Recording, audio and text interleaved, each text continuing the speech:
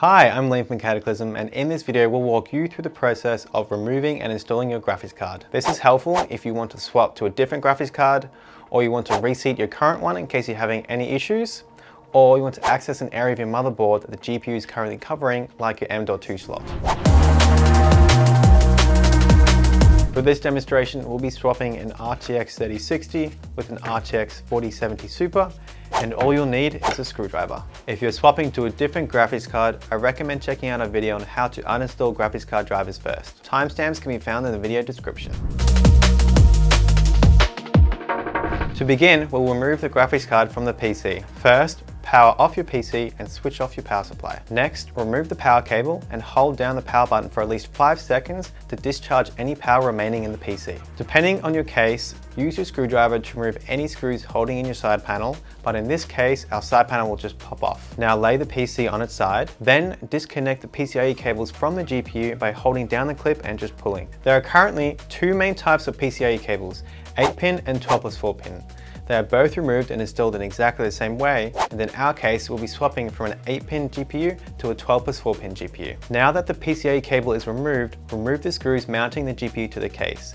They are typically found near the rear of the case. In this PC, it's found here. Press down on the plastic latch on the motherboard at the end of the GPU slot. Some higher-end motherboards will have a button that you can press for ease of access. Now pull the graphics card directly up and out of the case.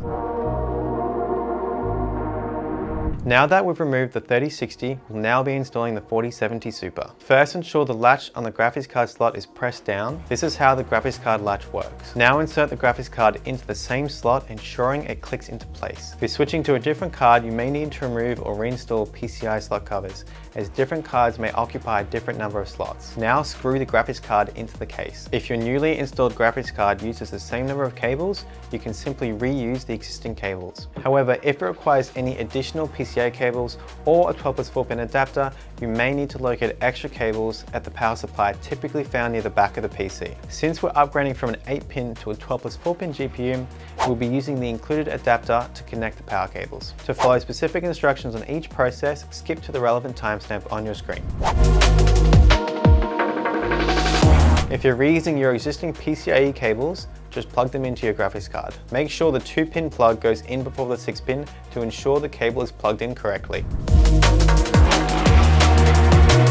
If you require any additional PCIe cables and or you're using a 12 plus 4 pin adapter, remove the rear panel to access the power supply and its cables. Now locate the extra PCIe cables and feed them alongside the existing PCIe cable. If you're using a graphics card that doesn't require the adapter, connect the 8-pin cables directly into the graphics card. Make sure the 2-pin plug goes in before the 6-pin to ensure the cable is plugged in correctly. But if you require the adapter, connect the 8-pin cables into the adapter, then plug it into the graphics card. Note that some power supplies may already have a standalone 12 plus 4-pin cable.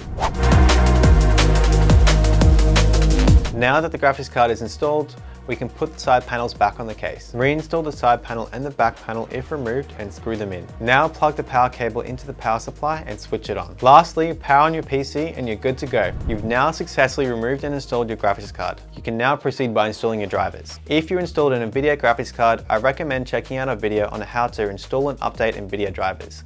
Or if you have an AMD card, I recommend checking out our video on how to install and update AMD drivers.